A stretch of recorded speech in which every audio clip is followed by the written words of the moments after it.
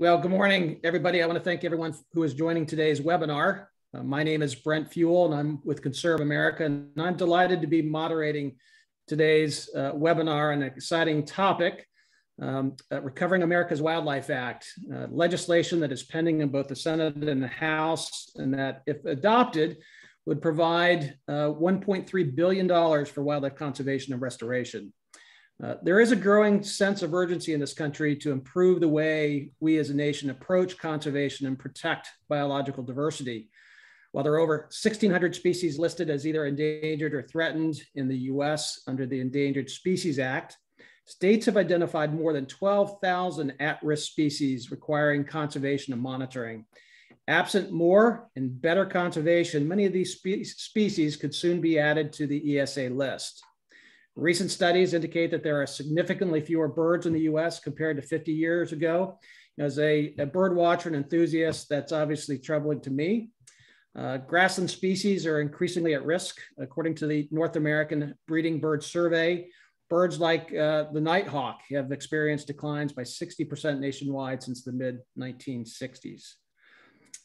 The cause of the decline for many of these uh, at risk species is all, often multifaceted, but habitat destruction, fragmentation, and modification are often the leading causes of decline in the US. The question then remains, are these trends reversible? If so, what can we do? Would uh, Recovering America's Wildlife Act give us a chance to go on offense, being more proactive to manage at-risk species and keeping species off of the ESA list? We have a great lineup today of distinguished pro professionals who will help us answer these questions. Uh, but before introducing our panelists, a quick word about ConservAmerica for those who may be unfamiliar with us. Uh, we are a conservation organization dedicated to promoting pragmatic solutions to our nation's energy, environmental, and conservation challenges, uh, advocating for market-based solutions and meaningful, sustainable regulatory reform. Today's webinar is part of our monthly webinar series aimed at promoting impactful engagement on important policy issues affecting our shared environment. We are fortunate today to have Collin O'Mara, President of the National Wildlife Federation, Sara Parker Pauley, who serves as the Director of Missouri's Department of Conservation, and Amos Eno, President and founder of Land Conservation Assistance Network. Uh, we've agreed to dispense with uh, lengthy bios and presentations this morning. Um, and what I would encourage our audience to do, if during today's discussion, any of uh, you have questions, please feel free to send them uh, to us in the chat box and we will get to them as we can. So let's jump into the discussion. I wanna direct the first question to, to Collin. Collin, the, the, the bill has been floating around uh, and the idea has been floating around for several years, but there appears to be uh, a fair amount of momentum this year with considerable bipartisan support. For those who may be less familiar with uh, the legislation, you know, why why should people care and pay attention to this? Thanks, Brent, and, and thanks to the ConservAmerica family. Um, it's really great to be with all of you, and thanks everybody for jumping online today. See folks are, are busy, and it's a, kind of a crazy day on the Hill today, so I appreciate everyone that uh, made time for it. Um, like the idea here is fairly simple: that you know America has done a, a incredible job saving the species we hunt and fish, um, but hasn't been able to pl- apply the same kind of well-worn best practices to the full diversity of wildlife. And right now, about one third of all species are at heightened risk of extinction. States have identified more than 12,000 species of greatest conservation need. And yet the congressionally mandated state wildlife action plans um, that were you know, part of a, a package about 20 years ago um, to try to have more money going to uh, species in the, in the, small state wildlife grants program um, only fund about 5% of the work that's needed. And so in the years ahead, um, if we don't take preventative action, this is very much predicated on the idea that an ounce of prevention is worth a pound of cure. That if we don't do that, you know, kind of preventative medicine before we wind up in the emergency room, we could see thousands upon thousands of species being listed, billions and hundreds of billions of dollars of costs on the private sector, you know, tens of billions of cost, tens of billions in costs on the government um, to save species that would frankly be a lot cheaper to save now. And and so you know this idea of trying to do something proactive that's you know collaborative and voluntary that's at the state level um, so it's not you know federal regulatory it's kind of state collaboration being the mechanism as well as with territories and with tribal nations um, but this idea that we can do it better together that by by having folks collaborate and work together through voluntary proactive actions it's a better way to save these species that we deeply care about before we have, you know, kind of a, a regulatory train wreck mm-hmm. that, you know, if we had to list you know, thousands upon thousands of species that are on the brink of extinction.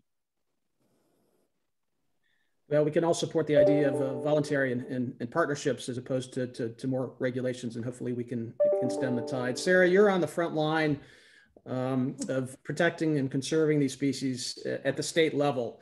You know, what is um, maybe from your perspective, um, you know, what does RAWA, if it is adopted, what does it mean uh, for for Missouri? Brent, that's a great question. And again, just as, as Collin said, thanks so much for the opportunity just to visit about this incredibly important topic for our states. And I, I wanted to hit on one of the statistics that Collin noted is that currently uh, only about 5% of state wildlife action plans uh, have the ability to, you know, to be implemented just because of, of limited funding sources.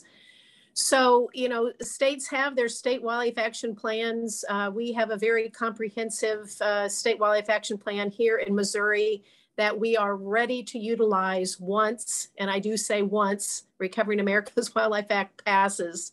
Um, we have something called a comprehensive conservation strategy where we've already working with partners, including our federal agency partners, um, NGO partners, have identified of our, uh, our COAs, our conservation opportunity areas, what are those priority landscapes or what are those priority geographies? And so uh, with additional resources going to those uh, priority geographies, it also protects all of the species uh, that depend upon those landscapes. So we have, Brent, we're ready. We have a RAWA Ready Missouri plan where we are looking at at first implementation about 50% of those additional funds. And for Missouri, it would be about roughly $21 million annually. Wow.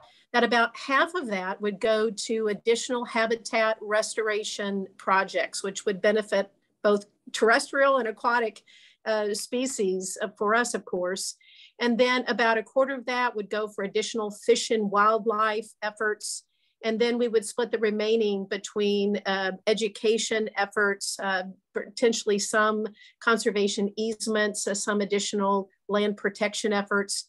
So we are ready uh, and we can leverage those funds, you bet, here in Missouri to do a lot of additional work. Now, all that additional work, and that's very exciting, Sara. All that additional work obviously is going to take more bodies. Um, so, you know, would this money be go to hiring additional staff to to implement the uh, these plans? That's my number one question that my staff ask, who are feeling already overtaxed and worn out, and saying, "Promise us that this will mean additional boots on the ground," and of course it yeah. will. We're already beginning the planning now, and we know that you know first things first. Let's know how we're going to uh, spend the monies and have some planning in place, but uh, you better believe that uh, to get, a, you know, we've got to have additional boots on the ground. Um, you've mentioned the 12,000 species. We've got over 600 species of uh, greatest conservation need here in Missouri. Plenty of work to be done, but it will, I mean, and it's going to mean additional money for cost share for our private landowners. It's, it's going to mean additional monies likely to partners, but ultimately uh, for what we need to do, both on public and private lands, it's going to mean additional capacity here at the department. Well, that's uh, that's that's that's great great information. And you mentioned uh, private landowners. Um, Amos, I want to bring you into this conversation. You've spent better part of your professional career advocating for partnerships with private landowners and the, the value of, of, of these landowners and, in uh, being being part of the solution. So, can you talk to us a little bit about uh, uh, some of the work that you've been doing?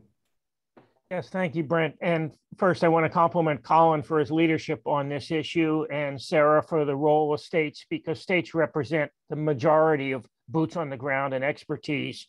But when you think about uh, private landowners and their importance for conservation, I mean, it's 80% of the equation. 82% of the wetlands in this country are on private land. 80% of the endangered species habitat is on private land. And this is, you know, not understood generally, but I mean, if you go back to Aldo Leopold's writings in 1930, he wrote, the geography of conservation is such that the best land, most of the best land will always be held privately for agricultural production. So the bulk of the responsibility for conservation thus necessarily devolves upon the private landowner, especially the farmer. And that's truer today than even when he wrote it. Yeah, that's uh, Aldo Leopold's one of my favorite uh, uh, favorite authors. One of my first books in in uh, wildlife management to to read the the almanac. Um, I'm going to throw this out to to to whomever. Um, obviously, Amos uh, raises the important role of, of, of farmers and agriculture. Can you know? Is there an opportunity, and are we seeing uh, the agricultural community more engaged on these issues and becoming you know partners uh, on on you know greater greater partnerships on on conservation? Brent, I'd love to answer that question. Here in Missouri, um, we have an entire branch of our agency devoted to private lands work because Missouri is about 93% of our uh, ownership is in is in private ownership. So we simply can't uh, accomplish uh, our mission without a, an incredibly close working relationship with our agricultural community, which we have, you know, spent the better part of 85 years uh, developing. But we currently have a number of cooperative positions where we actually provide the funding to ag partners such as Missouri uh, Soybean Association, our corn growers, MFA, uh, University Extension, uh, over 20 uh, positions, boots on the ground, who serve as that connection, that liaison between the agency and that private landowner, especially our ag producers, to uh, really promote our, our conservation related programs. And so sometimes we think it's it's better to have maybe a face that they're more familiar with, that they work uh, mm-hmm. with more day in and day out. Right. And uh, it's really helped us to leverage those conservation efforts. Collin, um, obviously there's a fair amount of bipartisan support for this. You know, we see all the rancor and the gridlock in Washington. So we're, we're you know, many of us are optimistic that, that uh, we'll be able to put a put aside those partisan uh, uh, arguments and, and and push forward on this. There are some Republicans who obviously have some reservations about the the, the bill. Um, obviously, in, in, spirit, they you know support it in concept and spirit, but there's concerns about how we pay for it. 1.3 billion uh, is you know is is is a fair amount of money. Although when you talk about 3.5 trillion, uh, reconciliation package is obviously it's a small drop in the bucket. But uh, um, talk to us, if you will, about you know if there's a chance. Understand there obviously there's a markup this week, tomorrow in committee. If there's a chance to to work through and work out some of those concerns.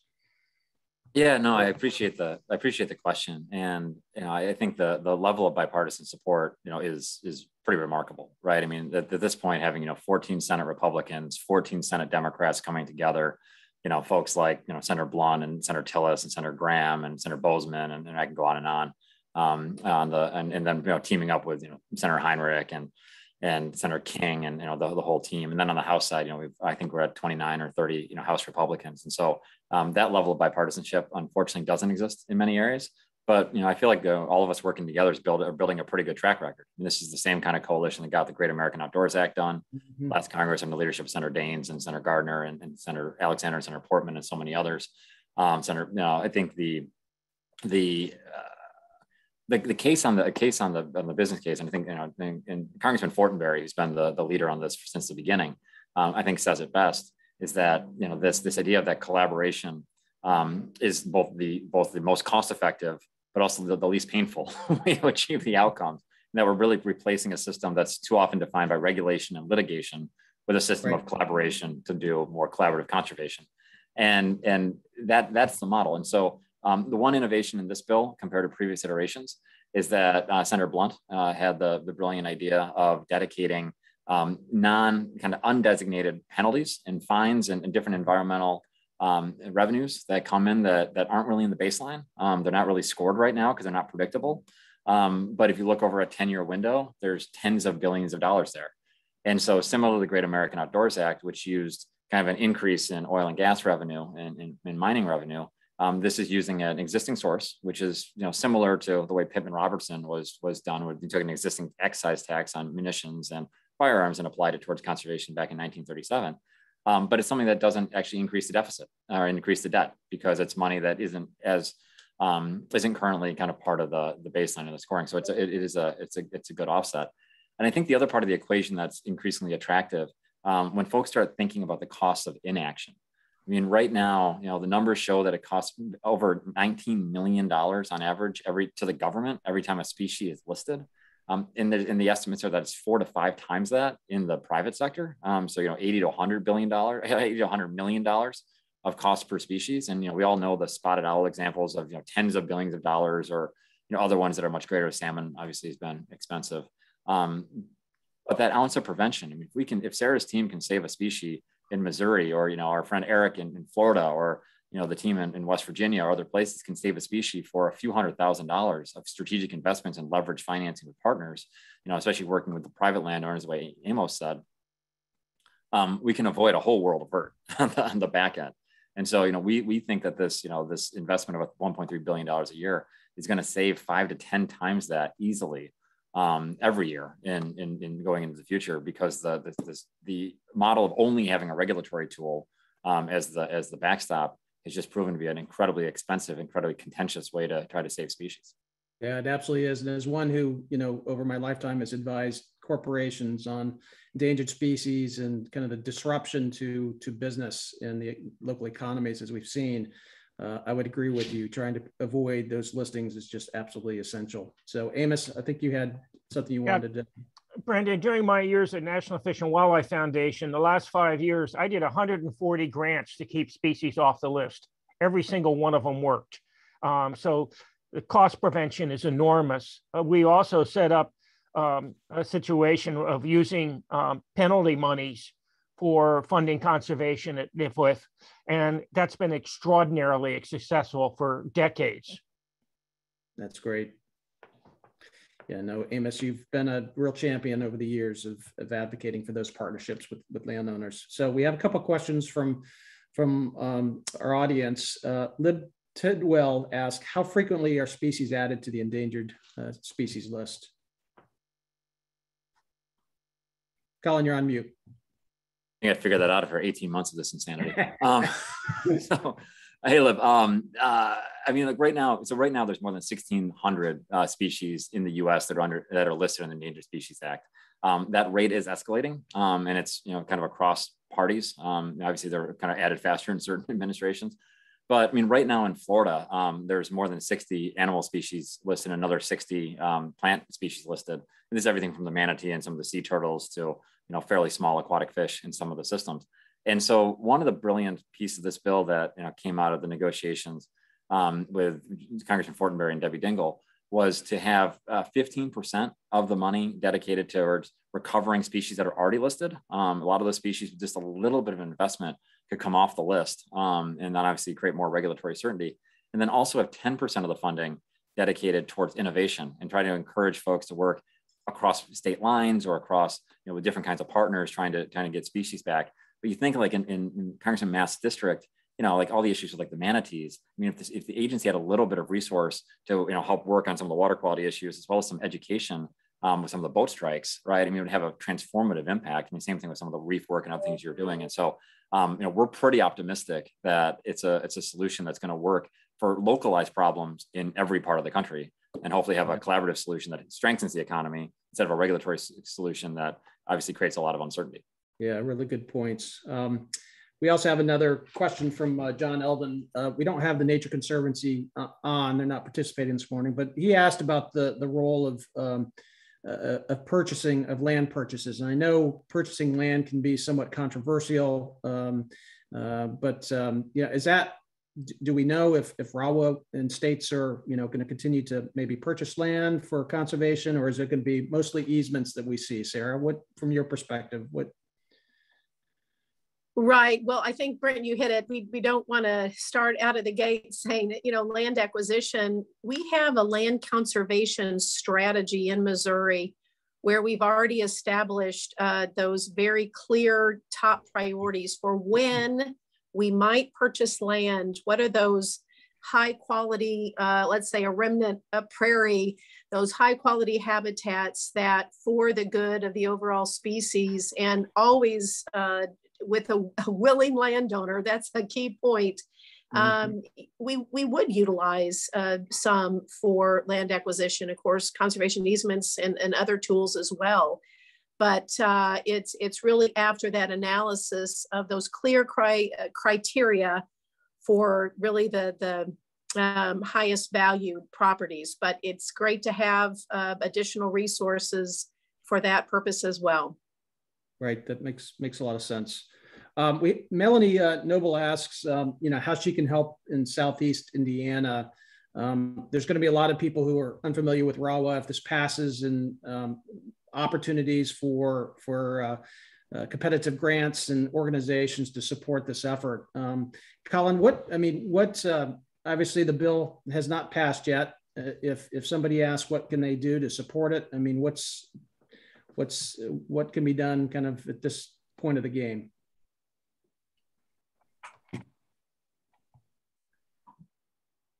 getting off mute. Um, I mean, right now, I mean, uh, I, I, frankly, I mean, the most important thing is just talking to your member of Congress. Um, so I'm not sure if you're in the in Congressman Pence's side of the line or Congressman Hollingsworth's side, side of the line down there in Southeast Indiana. Um, but you know, letting them know that this is important, letting them know there's that there's a lot of species that are going to be be saved. It's a way to help ensure a, um, a less regulatory future for agriculture in that part of the state. Um, you know, obviously there's a, there's a whole bunch of species that without additional investment, you know, could wind up on the, on the endangered species list. You know, letting Senator Braun, who's been a great conservation champion on so many fronts, know that this is important. Letting Congressman Young, who's been one of the leading thinkers on international wildlife conservation issues, um, let him, letting them know that's important. But just frankly, just like just letting them know that that's important. That's a, a nonpartisan. You know, it's arguably a, you know fairly conservative solution in, in, in one mm-hmm. way. Um, that it's a it's something that that you strongly support, and then ideally have your friends and families and other partner organizations do the same. The more, the merrier. Yeah, good suggestions there, Collin. Um, yeah, one thing I'd throw out to the three of you, if you have any thoughts, um, obviously uh, ecosystem services and in banking um, markets uh, used to create banks for like wetland mitigation and species banking, you know, become increasingly popular in a way to uh, to to leverage greater investments and, and partnerships uh, in in species conservation and, and conservation writ large. Um, do you see an opportunity for, for the increased funding to kind of facilitate and encourage more species banking? Amos, do you want to take that one?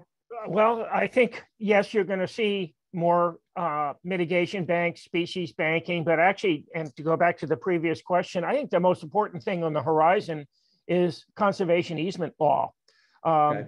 You know, that was first passed by President Bush in 2006. It was made permanent under President uh, Obama in uh, 2016. And today you can do working agricultural easements with, for example, again, I gave uh, grants to start cattlemen's land trusts in California, Colorado, and Texas. That was 25 years ago. To those, today, those are the largest land trusts in their respective states. And easements today are an significant financial advantage for landowners. You've got a 15 year carry forward and a deductibility against all income. And so you can have a working farm. And to go back to Leopold uh, and agriculture, uh, the best land is on pri- best wildlife habitat is on private land. Even in Western states, which are 50 to 80% public land, private land is the most important habitat because it's where the water is, it's where the riparian areas are. So that's where the species are. So mm-hmm. I think mm-hmm. the biggest tool in the future is going to be conservation easements and, and broader application of easements um, for preserving habitat. Yeah. So, Brent, oh, oh sorry.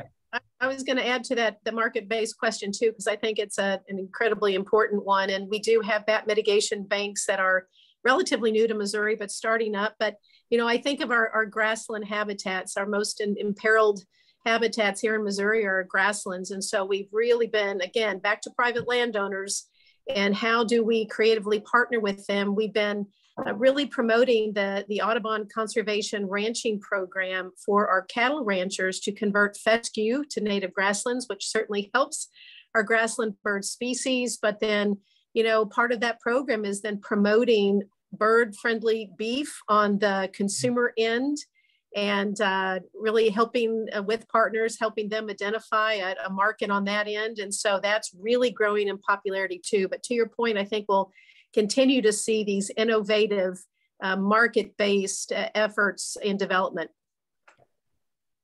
Really good Brent, early in, in, my career, I spent uh, almost three years in Africa, and I learned a lot at the at the intellectual foot of David Western. In his book, in the Dust of Kilimanjaro, he asked the question: Do you really think conservationists can save animals and ignore people? the trouble with you biologists is you never consider economic and social factors. Again, to Sara's point, uh, right. you've got to make people part of the conservation parade. It's not just about biology and science. People are the people that are, are, are the proponents that actually affect action on their lands. Yeah, ab- absolutely. And Amos, that takes me back to college when graduating with my wildlife management degree. All my friends wanted to go out and you know be uh, park rangers and work in the forest, and I got called to DC because I felt, you know, um, one of the biggest challenges for managing wildlife is managing uh, human activities, and and you know, incentives are so critical. We we've seen historically where government mandates seem to have, in many cases, have the opposite effect. And so, getting the incentives right and collaboration and partnering, you know, are so critical in in kind of you know um, getting people excited about you know doing a good thing. So, well, um, even in saving species in the 70s and 80s, it was entrepreneurial nonprofits right. that helped recover uh, whooping cranes, California condor, peregrine right. falcon, bald eagle, etc. Well, our friend Alec Eccles, um, uh, is he often says about species, you know, and he's spent a lot of work in agriculture. He says we really have to turn species and, and endangered species from from a liability into an asset and really encourage landowners and, and incentivize and provide safe harbors for landowners who actually want to to uh, you know expand critical habitat and, and and provide it for for those species. So i mean obviously the goal of rawa is to keep species off the endangered species list uh, first and foremost but you know there are there are things that we can still a lot of things we can do to to re- help recover those species uh, and, Robin, and, I, had a, I had a great conversation. Ahead, I had a yep. great conversation one time with, with Chairman John Dingell, um, you know, a few years before he passed, and he was the architect of the, the Endangered Species Act, which you know passed with you know overwhelming, you know, 99% support across both both the caucuses.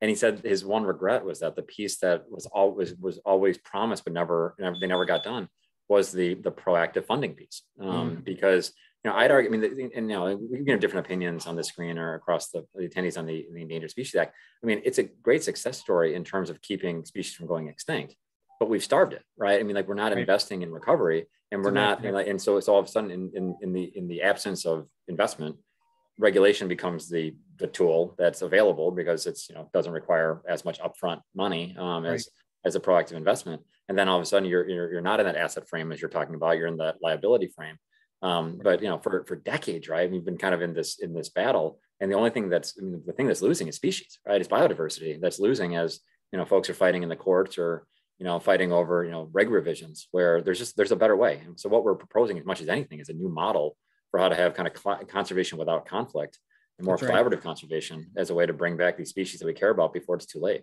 Yep, absolutely, Collin. And we know there's organizations that that spend a fair amount of time of, of litigating species uh, protection and, and and recovery, and obviously they serve a role. But I think there is uh, recognition that a lot of the litigation and those efforts to go into litigating litigating those cases uh, can you know we can put those money and efforts into uh, you know to recovering species and you know on the ground boots on the ground work that actually is is uh, doing some real things. So uh, um, you know, Robin Tyner um, um, has a question and, uh, has, has raised the concern about herbicides and pesticides and, and um, agricultural practices. And if there's a way to uh, uh, perhaps use this moment to engage more farmers to, to uh, you know, revert to, to um, traditional practices um, that use less pesticides and herbicides. And, you know, uh, I'm, I'm certainly not going to um, uh, be too critical of herbicides and pesticides because, as we know, without them, um, we we would be in a world of hurt in many cases. But it's it's a matter of balancing and using them in the correct way. So, is there is there a way to do you think that there's an opportunity to to encourage more kind of traditional agricultural practices and move away from some of the uh, uh, the pesticides and herbicides that are creating public concern? Yes. Um, I mean, I have a conference call with the Farm Journal uh, day after tomorrow on this very subject. And how do you get the word out? Uh, again, I, and you also have technologies coming forward. I mean, they now have laser technology for for weeding. Um, and there's just incredible innovation going on in the ag sector across the board. So I think this is very promising. It's a matter of harnessing it and taking it to scale.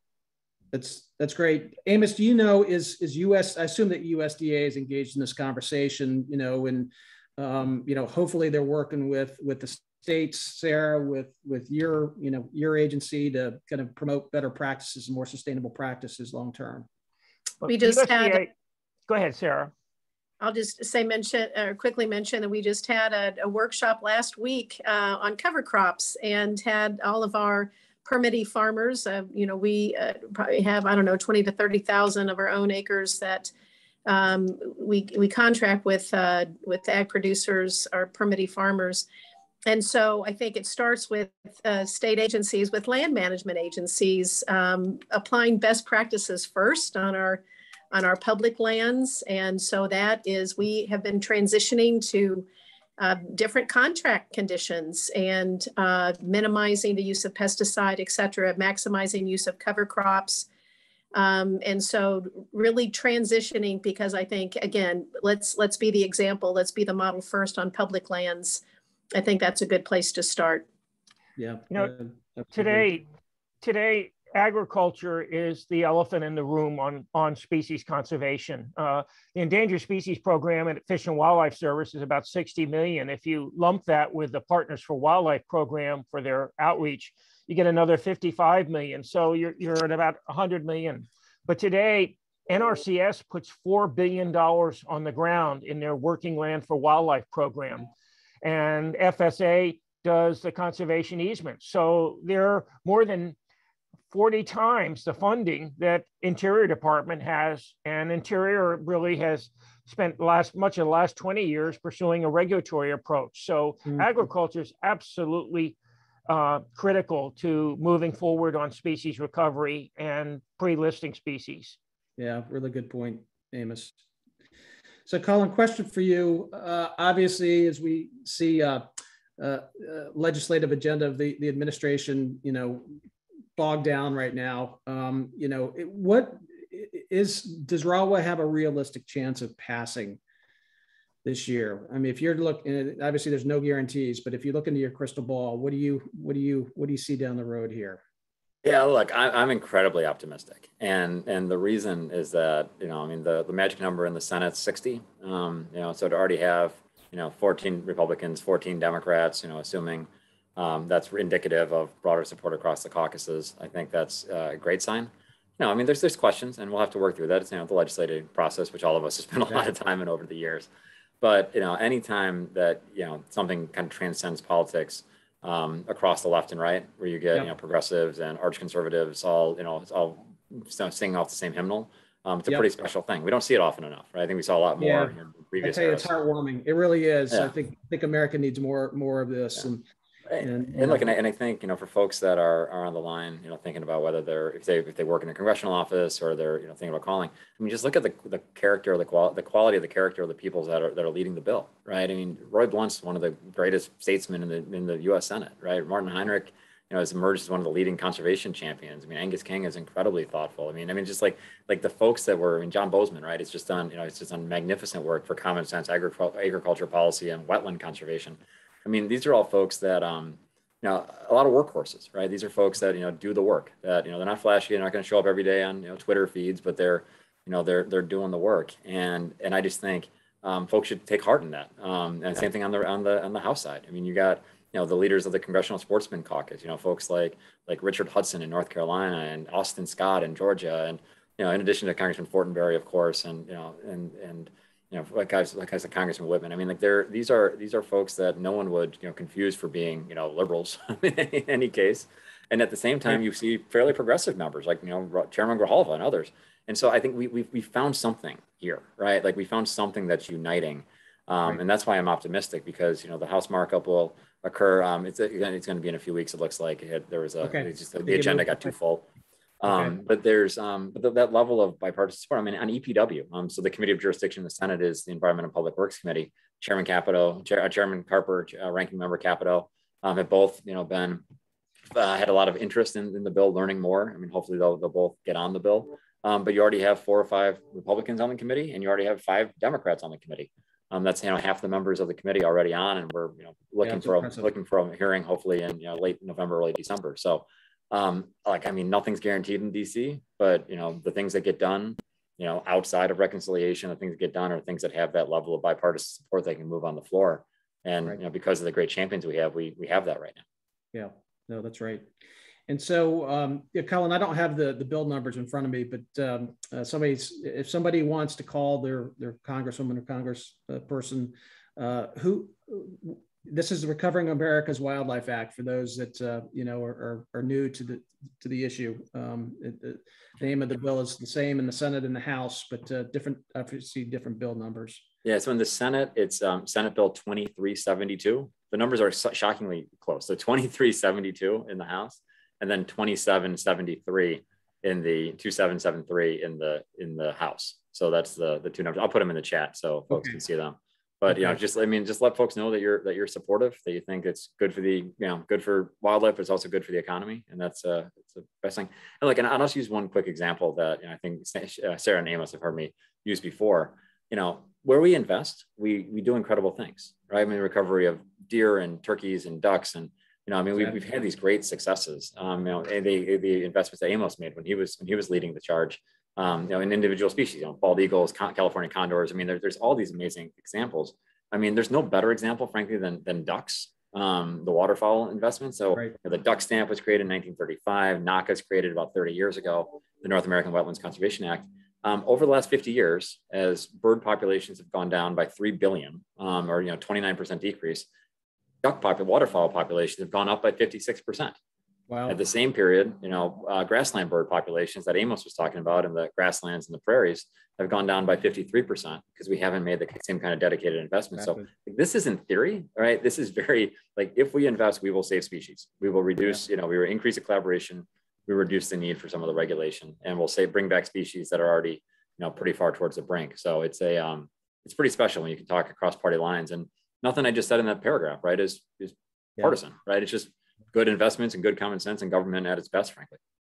Yeah, yeah. No, I think uh, protecting wildlife and and uh, biodiversity isn't a partisan issue, but uh, and hopefully we can continue to promote it across the the political aisle. Sara and Amos, uh, any closing thoughts, remarks from you?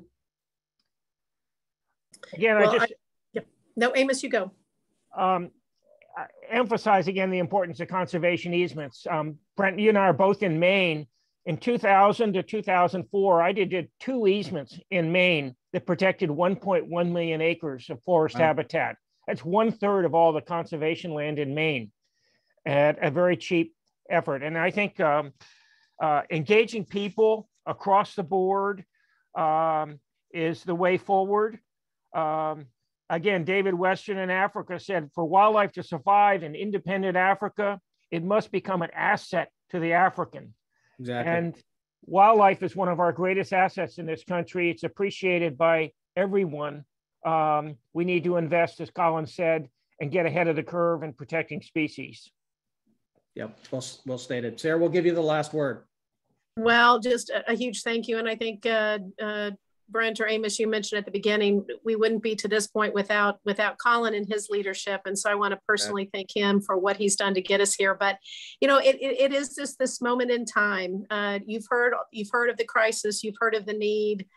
Uh, states are prepared and ready, um, but states have been moving towards more landscape level. Uh, regional collaborative conservation over the last, certainly over the last half dozen years or longer.